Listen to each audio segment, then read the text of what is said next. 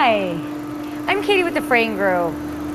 Today we're cycling your Waukesha SP high shear pump. We recommend you read the manual in its entirety before powering up the machine. The voltage is currently set to three phase 40 volts.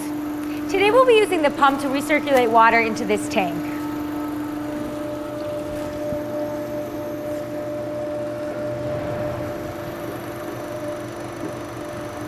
And now I'll increase the speed.